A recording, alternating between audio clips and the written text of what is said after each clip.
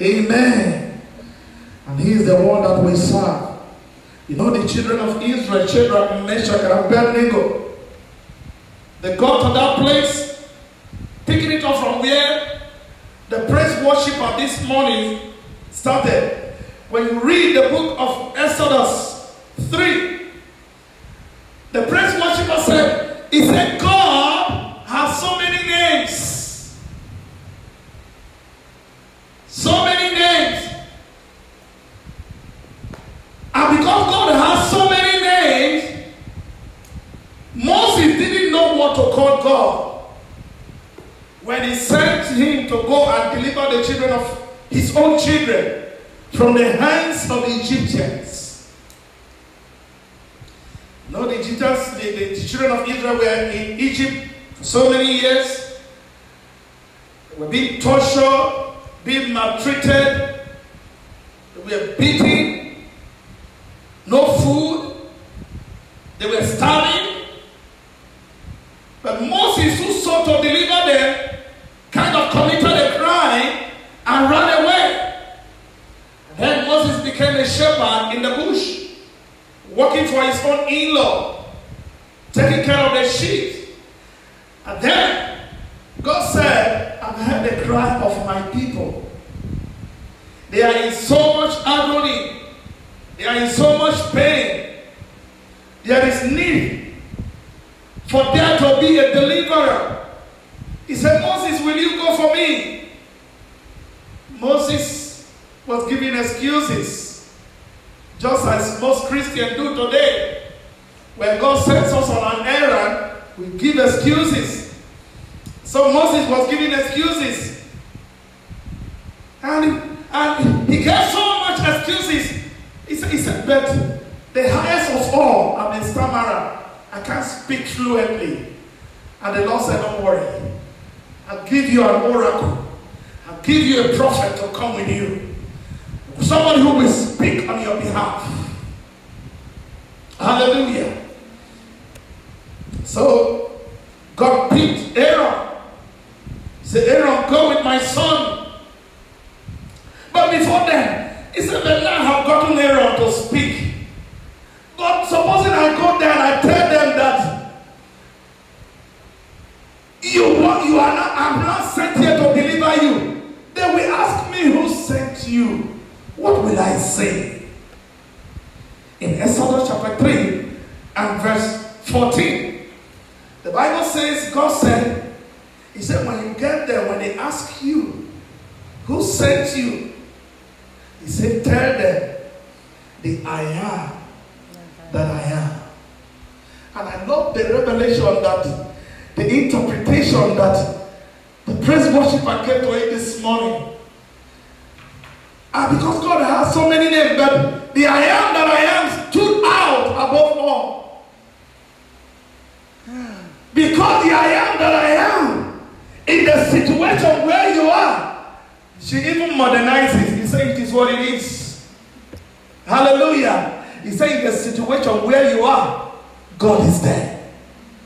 Right in the battle that you are fighting now, call him by that situation. He will respond. Amen. You may not live in hunger forever.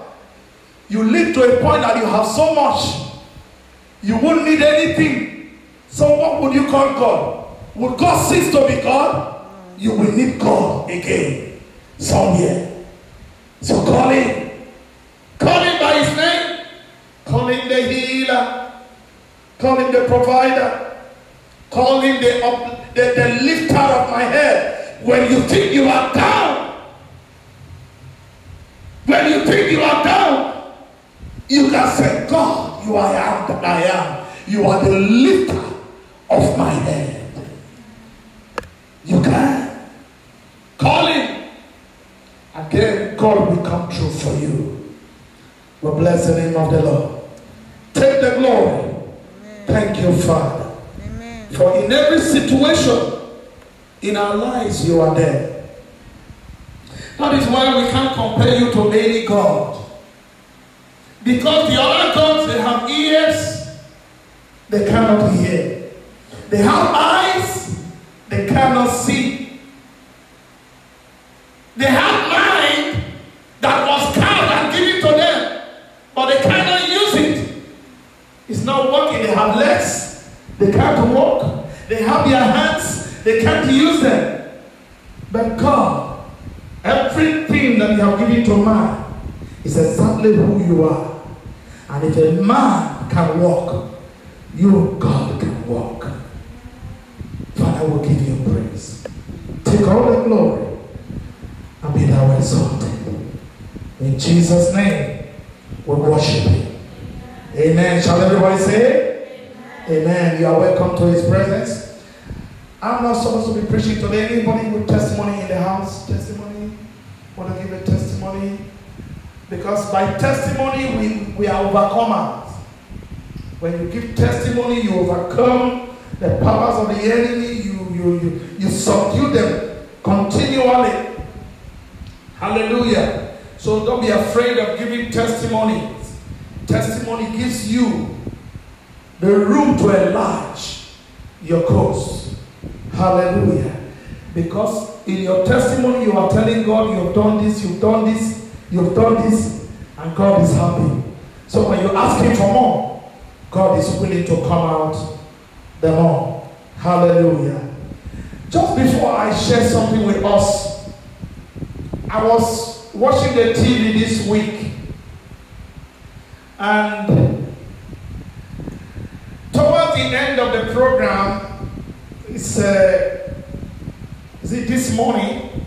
Yes, that was being presented by uh, Eamonn and Ruth. And we were watching the TV this morning towards, sorry, that was about three days ago, was it on Friday or thereabout? It is not shocking because that is what our world has become. But God has given you the power to change it. Because the Bible says in the later time, it said people will deviate, they will run away from the truth. They will begin to worship themselves, they will worship the devil. They will clap hands, they will sing, they will do everything to please the devil. They will walk in ignorance, thinking that it is the truth. And then there was this lady that has a dog as a pet. There is nothing wrong when you have a dog. They are lovely animals that God has created to live amongst us humans. And for you to have a dog, you, all you need to do is care for the dog, love the dog, feed the dog when it's needed to be fed. But this lady, it's, it's been happening. But this lady went a step further. What did she do? The lady decided to marry the dog. Do you know that she actually was in that studio, went to the what do you call that their green room where they dress. She got dressed, changed from the the clothes she wore from home. I don't know whether it was ITV that provided the dress for her. She was, they really made her up. They did the makeup so lovely. Only for her to be wedded to a dog.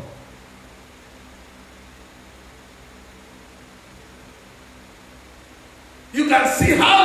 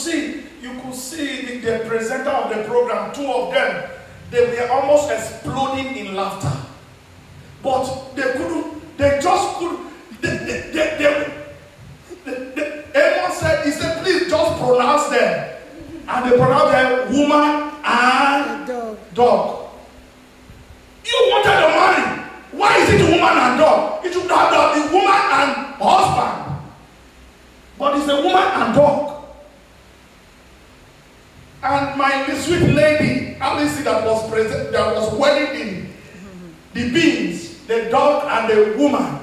The, the lady could not hold it. All through the time she was busting out in laughter. She, she couldn't hold it, hold back. This is how low human.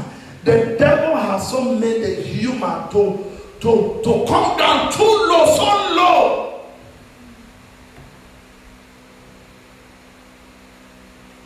Listen, I'm not saying you don't love your dog. Love your dog. But don't go and marry your dog. Your dog is not a human being. God wants you to marry. When God created, He didn't create you and a dog to get married.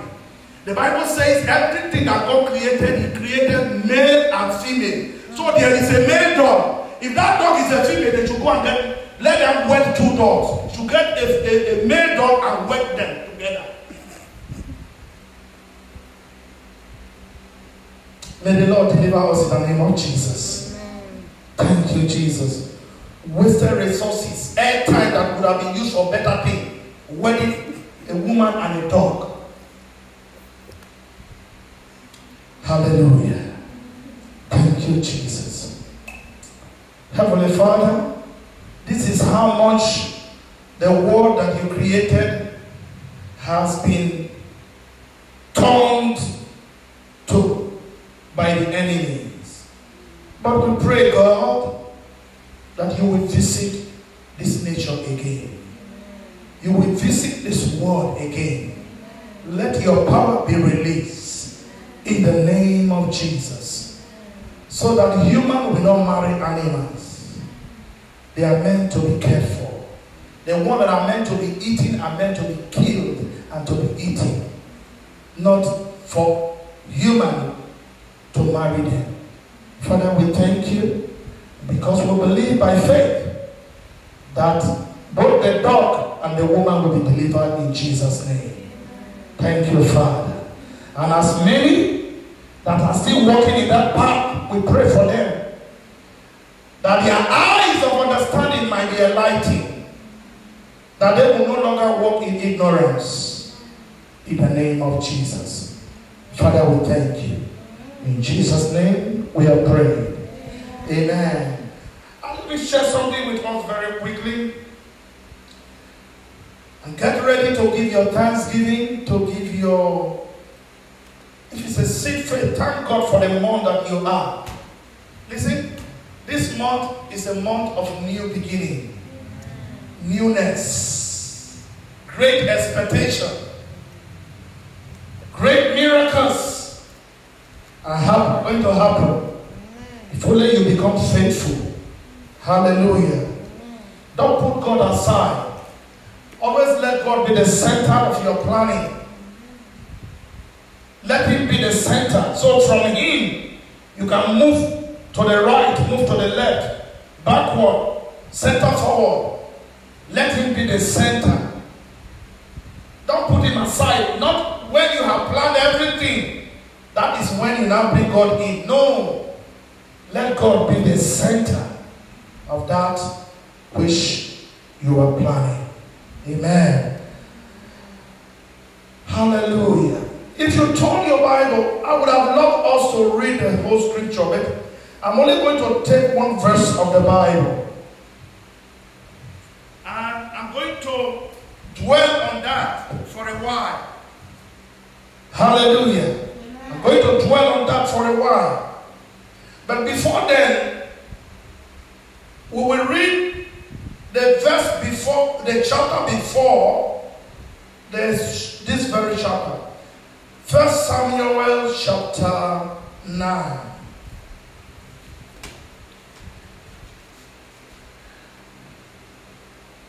I will just run through the story. It got to a time, there are different dispensations in the Bible.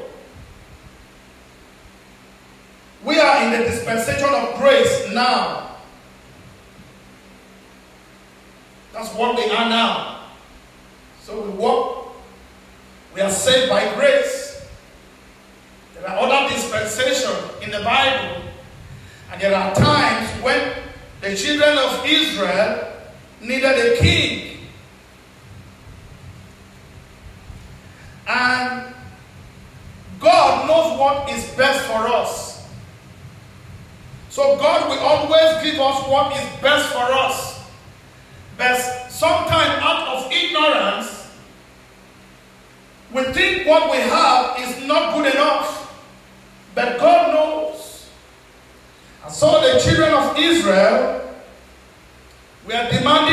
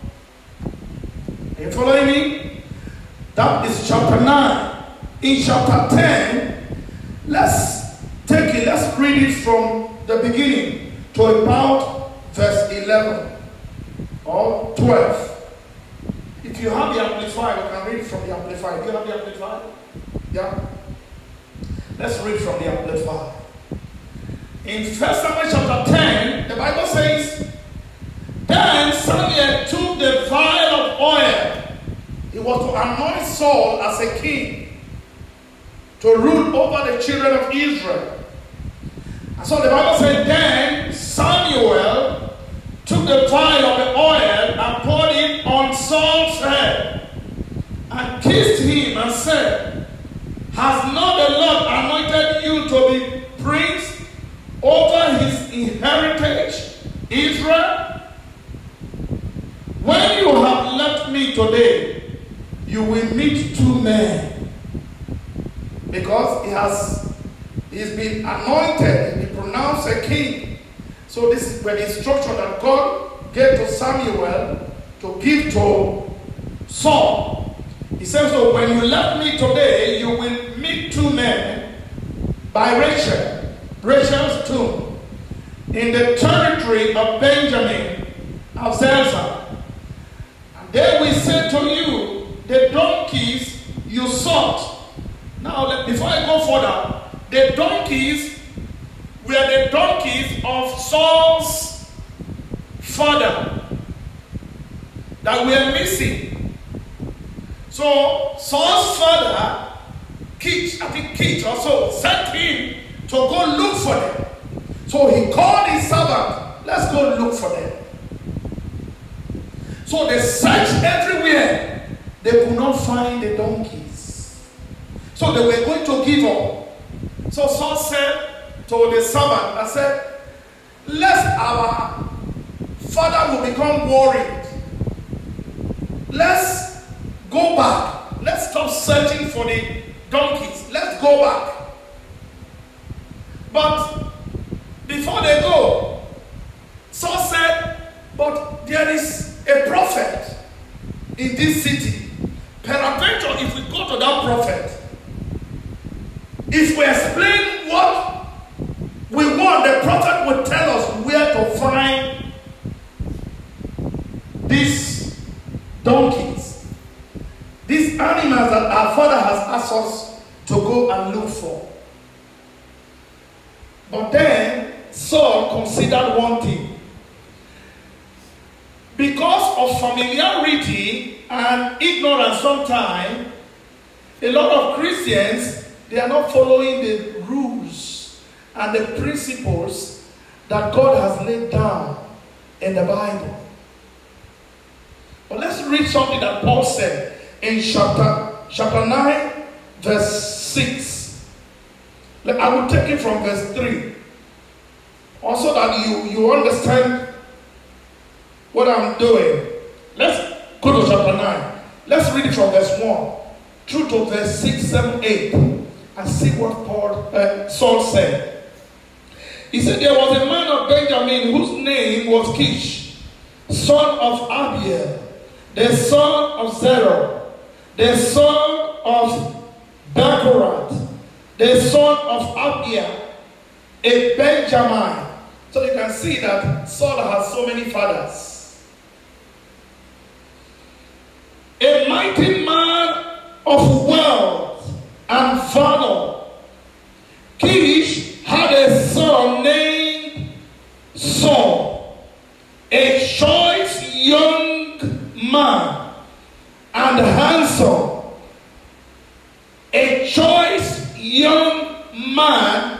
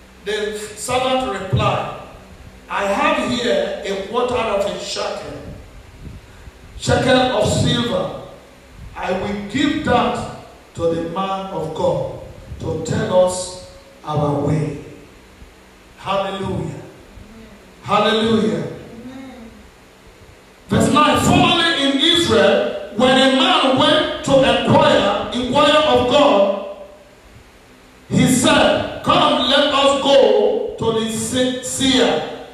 For he that now called the prophet was formerly called what? A seer. And in our today's modern life, in our dispensation, they are the pastors.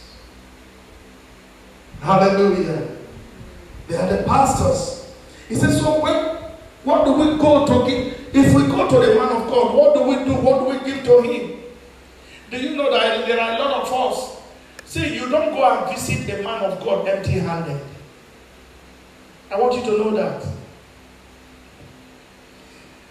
Because modernization has made things, people are doing the wrong thing, thinking that they are doing the right thing. You don't go to a man of God empty handed. No matter how small, if you know it's a man of God, don't go to a man of God empty handed.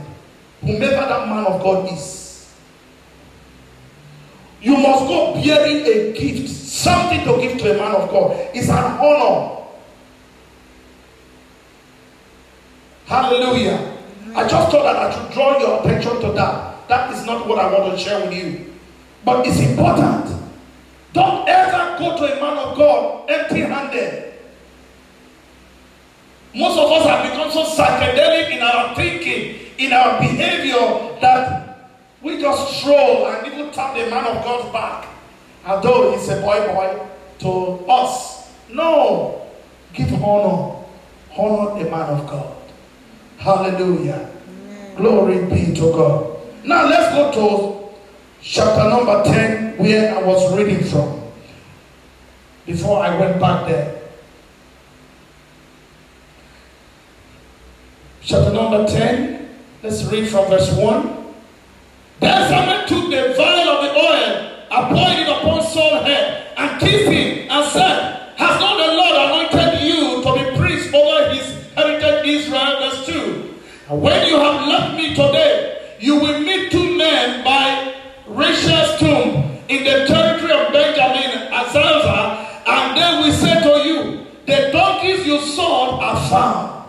and your father has quite caring about them and is anxious for you, asking, What shall I do about my son? Verse 3. Then you will go on from there, and you will come to the oak of Tabor, and three men going up to God at Bethel We meet you there. One carrying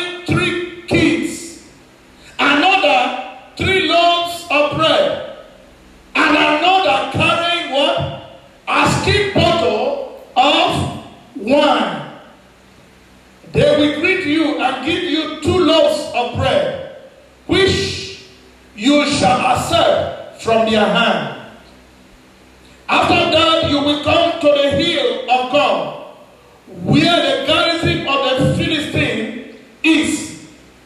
And when you come to the city, you will meet a company of prophets coming down from the high place with harp, tambourine, flutes, and lyre. Before them, before them, prophesying. Verse 6. Then the Spirit of the Lord will come upon you mightily, and you will show yourself to be a prophet with them, and you will be turned into another man. Verse 7. When these do whatever you find to be done, for God is with you. Ladies and gentlemen, for God is with who? With you. Amen. Verse 8. You shall go down before me to Gilgal, and behold, I will come down to you to offer burnt offerings and to sanctify peace offerings. You shall wait seven days until I come to you and show you what you shall do. Verse 9. And when some had turned his back to leave Samuel, God gave him another heart. And all these signs came to pass that day. Just hang on there. That verse 9. God gave him another heart. When God is preparing you for a miracle, He doesn't just prepare you one sided, He prepares you fully. So God gave him another heart. He said, Every sign that was told him by Samuel, all came to pass. All that God has spoken concerning you, they are coming to pass. In this new month of newness, in this new month of great expectation, all that the Lord has promised you, they are coming to pass. In the name of Jesus. Verse number 10. The Bible says, when they came to the hill, Gibeon, behold, a band of prophets met him, and the Spirit of God came mightily upon him, and he spoke under divine inspiration among them. Verse 11 is where I'm going. He spoke. This were everything that the Lord has said. Get Samuel the instruction to give to Saul. And this is verse 11. Verse 11. And he says, Hallelujah. And when all who knew Saul, let me read verse 10 again. So that when I read, you will understand. Verse 10 says, When they came to the hill, Gibeon, behold, a man, a band of prophets met him, and the Spirit of God came mightily upon him, and he spake under what? Under divine inspiration amongst them. Verse 11 says, And when all who knew Saul before saw that he spoke by inspiration among the people said one to another, What has come over him? Who is nobody but the son of Kish? Is Saul also amongst the prophets. Ladies and gentlemen, may I announce to you, when the Lord is true with you this month, hmm. those who knew you before, they will ask, What has happened to you? Amen.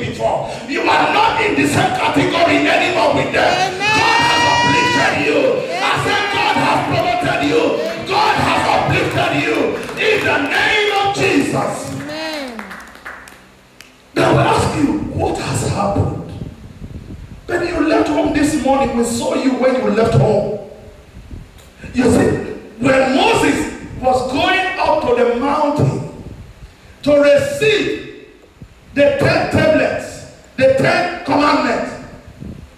The knew him when he was going. But when God was finished with Moses,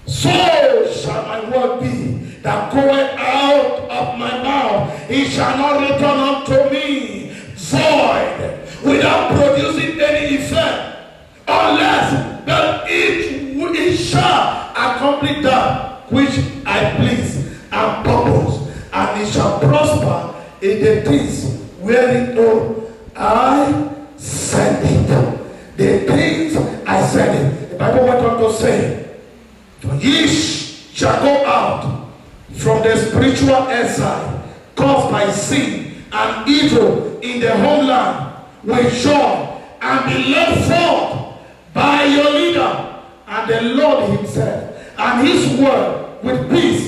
The mountains and the hills shall break forth before you into singing and all the trees of the field shall clap your hands. All the trees of the field shall clap what? Their hands. They shall clap their hands. He said, instead of a horn shall come forth up the cypress tree. And instead of the briar shall come up the mantle tree. And it shall be to the Lord for a name of renown, for an everlasting sign. Oh, you will jubilate. I say you will celebrate.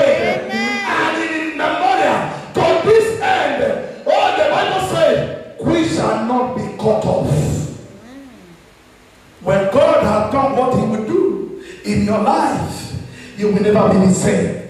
And many who wish you dead, they will say, we sought to kill him. We sought to kill her. But it is God above us. So shall it be.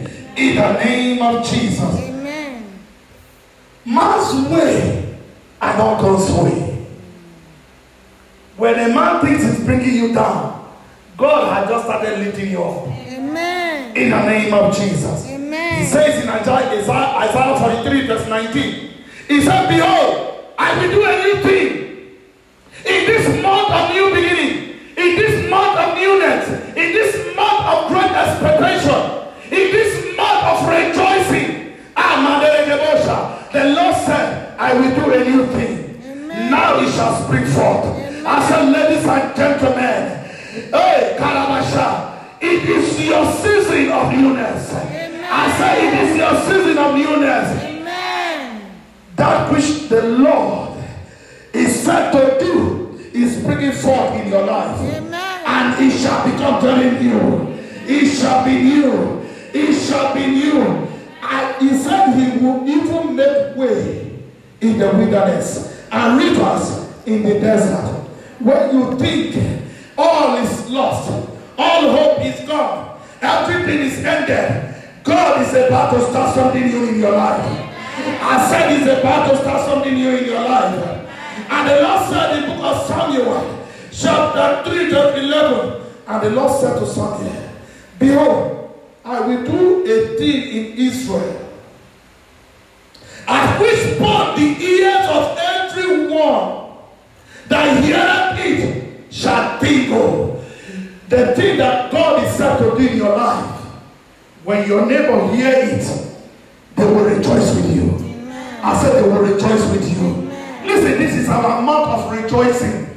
Rejoicing will not cease in your home. It will not cease in your life. In the name of Jesus. Eh. What has happened to you is an expression that expresses surprises and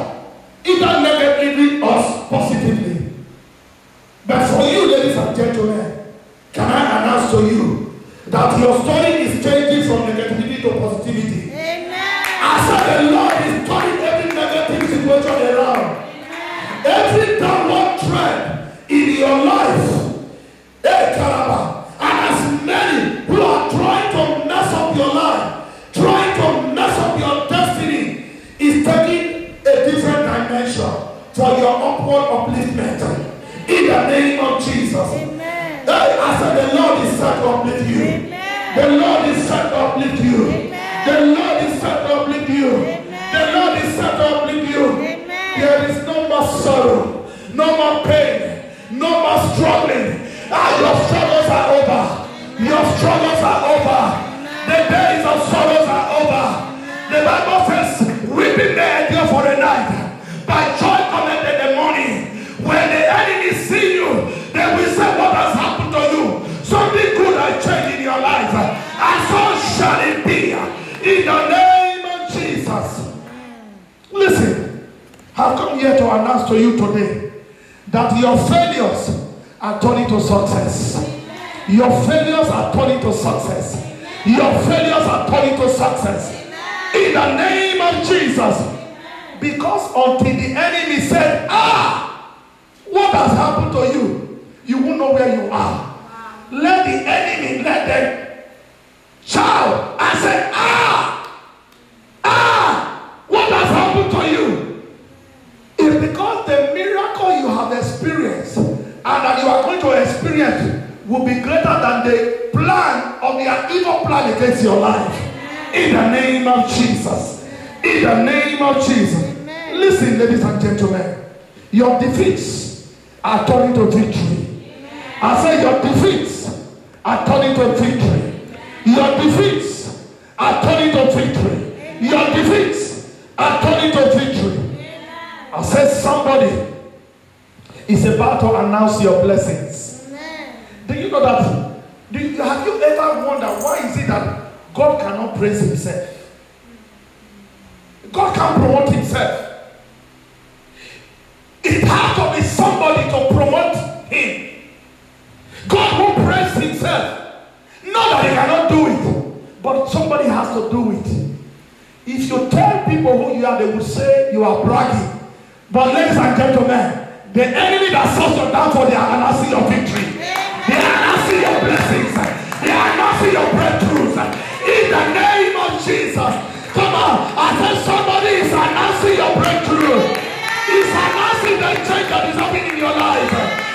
Somebody is announcing the miracles that are happening in your life. In the name of Jesus. The prosperities, the promotions that are happening in your life. Somebody is announcing it. I said somebody is announcing it. He says such. Those who want you down can no longer hold it. You know why they will announce it? Because they wanted you down there. But when they saw the upliftment, they couldn't hold it. They said, I am tired. I'm willing to let it go. I said, You have been set free. You have been set free. You have been set free. You have been set free. When the enemy have tried all they could, and they could not lock you there. When the enemy, when they sought to kill Jesus, they said by killing him, nailing him on the cross, that was the end. They nailed him on the cross. They saw a miracle. They said, ah, which means this man is not finished yet. Let's take him and put him in the grave. They took him and put him in the grave. They didn't stop there. He said so that he will not come out again. They got a big stone and blocked it. The enemy will always look for the impossible way to make sure that that which God has said to do in your life will not come true. But the more they try, the more God is opening the door. Said the God is opening the door. The God is opening the door. And when they have tried and tried and tried, they could not succeed. They said, we better let him go. And Jesus, the Bible says, Jesus lifted up from that grave. You remember the children of Israel? Shadrach, Meshach, and Abednego. They said, we are going to destroy their destiny. We will put them into fire. Let them burn to ashes. Let them burn to ashes. They threw them there into the fire. Right in the fire, God made an air condition. Right in the fire, where you are feeling the heat, God is putting an air condition for you. It is not a manual air condition. It is a spiritual air condition that is turning all your sorrow around. He's turning your blessing uh, around. They are coming around to their fullness in the name of Jesus. And when they threw Shadrach, Meshach, and Abednego in that fire, and they tried to make sure that they don't come out, they saw a fourth man. I said that fourth man has come to bless you today. That fourth man has come to open the door for you today. That fourth man has come to open the door for you today. He's come to open the door for you today. That fourth man is in your life. They tried. They tried. And they tried. And Nebuchadnezzar said, Are you sure you heated up the fire seven times over? He said, Yes, we did. He said, Bring them out. He said, Bring them out. When the enemy that sought to kill you cannot kill you anymore, he will say, We have released you. We have set you free. We have now let you go. Go and celebrate. Go and celebrate. Go and rejoice. Go and celebrate. And right from that day, Nebuchadnezzar declared, He said, The God of this man is the God that you all must serve. Because their own God has failed them. Wherever they took your name to has failed them. Wherever they took your pictures to has failed them. And they become out running like madmen. They become out running like mad women. In the name of Jesus. I said, God is setting you free. God is setting you free. God is setting you free. In the name of Jesus. Your life will never be the same again. Your life will never be the same again. Your life will never be the same again. In the name of Jesus. And when the enemy will see you again, you have changed. You have changed. That is when they will say, Ah, what has happened to you? And so shall it be in Jesus' name. Come on, rise up on your feet. Come on, let's celebrate the Lord. Let's celebrate Him. Let's celebrate Him. Let's clap. Let's clap for His glory. Let's shout for His glory. For the victory is ours. God has done it and done it and done it and done it and done it and done it. God, adore it, adore it, adore it. In the name of Jesus. Thank you, Jesus. Thank you, Father. In this month of newness, in this month of great expectation, your heart desire will be fulfilled. Your heart desires will be fulfilled. Your heart desires will be fulfilled. Your heart desires will be fulfilled. In the name of Jesus, you will never be the same again. Blessed be your name, O God. Come on, say thank you to the Lord. Say thank you to Him. Just bless Him. Just bless Him. Just bless Him. Ah, bless Him. Say, God, I thank you. Lord, I thank you. Lord, I give you praise. Lord, I exalt you. I'm no longer the same. Hey, they will ask, ah, what has happened to me? Ah, what has happened to you? And so shall it be. In the name of Jesus. Thank you, Father. I'm We worship.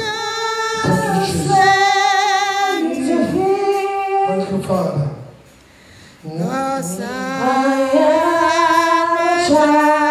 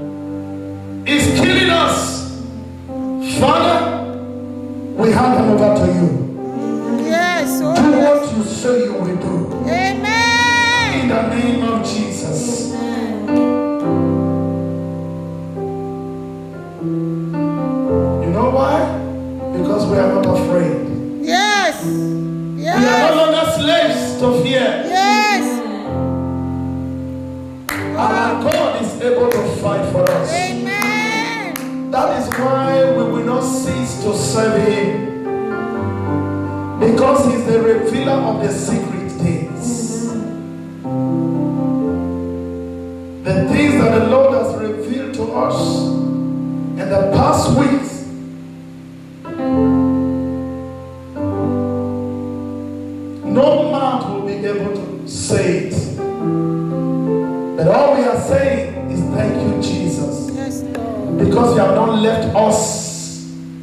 the hands of the enemy yes. to destroy us. Father, we thank you. We give you praise.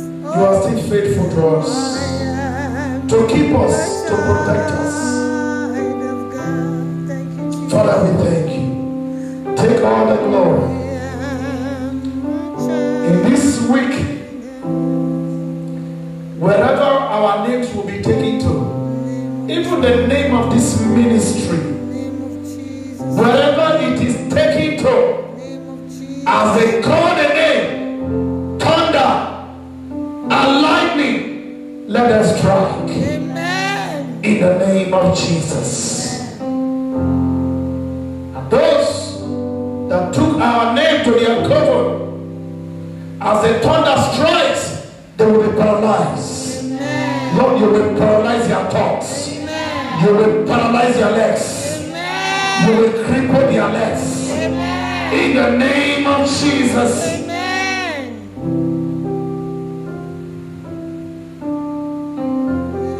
The devil is the only one that says you will not prosper. And the devil tends to recruit men to walk with him